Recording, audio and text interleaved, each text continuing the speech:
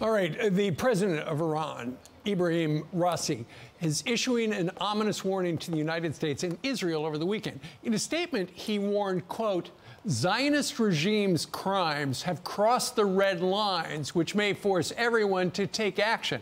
Washington asks us not to do anything, but they keep giving widespread support to Israel. Here with his reaction is the exiled crown prince of Iran, His Royal Highness Reza Pahlavi. Reza, good morning to you. Good morning. Okay, uh, what is Iran doing? Uh, the red line, what are they talking about? I mean, they're bombing, uh, their proxy forces are shooting at our guys over in that region every day, it seems.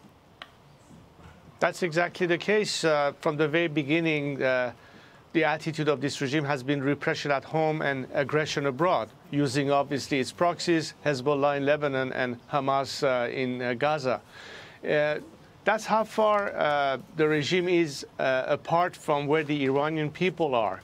The most uh, heard slogan on Iranian street has been neither Gaza, neither Lebanon, my life is sacrificed for Iran.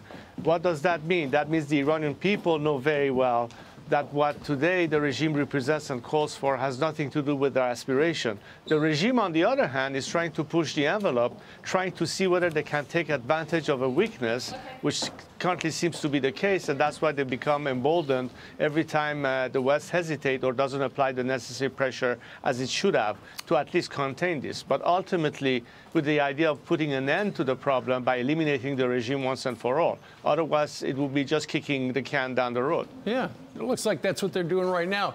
But our, our president has been very clear. He has said, don't. That's, that's all he said is don't. Shouldn't he say don't or, you, or there's going to be hell to pay?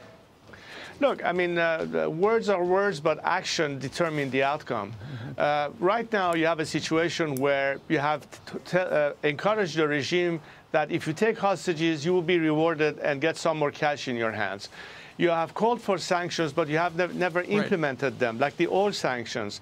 That is not what I call putting pressure. So, you know, be good boys and don't harm us. Is that the message? yeah. I mean, come on. Reza, what does the pressure look like? Uh, help the people of the State Department. Uh, they need some ideas.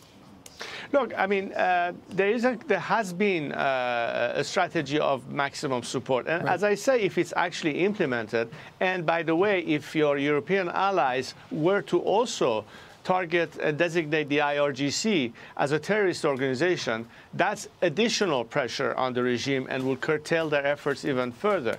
But parallel to maximum pressure, there ought to be also a campaign of maximum support.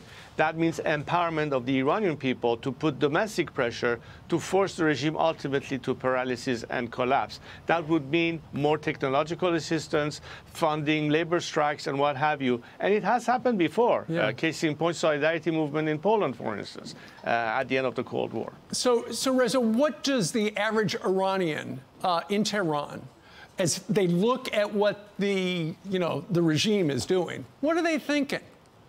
Well, they're thinking that for 44 years we've been primarily occupied by a, a, a, group of people who are, who are ideologically not at all interested in the livelihood of our own citizens. They're only interested in exporting an ideology beyond our borders and create a modern day Shiite caliphate uh, to dominate the region and the rest of the world.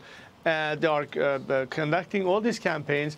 They are funding all of these uh, um, uh, proxies right. at the expense uh, of the Iranian people themselves. So Iranians want liberty. Iranians want freedom. Iranians share the very same values of citizens in democratic country, whether it's the, the West and other countries in the world, because we believe in human rights. We believe in equality. We believe in putting an end to any kind of discrimination, whether for ideological reasons right. or religious reasons or sexual orientation, something totally different than what the, this regime uh, represents. It does not represent the will and, and the opinions uh, of, of my fellow compatriots. Yeah. Well, but when you look at the regime with these proxy forces firing stuff off at us, do they want a war with the United States? Because we know who's, who's putting those weapons in their hands.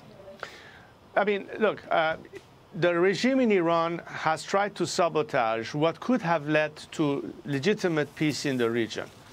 The forces of uh, evil that are fighting uh, via terror whether it's conducted against our own people or uh, Israel or uh, other nations in the region, they are not committed to peace. They do not want peace. And the only way to have peace is to allow for a two state solution. But that will only occur at the time that these proxies and everybody who's trying to sabotage the peace right. process are no longer there. So you have to eliminate the problem once and for all. Right. You can kill soldiers and Hamasis and uh, uh, Al Qaeda's of this world, but you cannot kill an ideology. You have to ultimately defeat that ideology that breeds such kind of uh, conduct and comportment by some. Indeed. He is the exiled crown prince of Iran.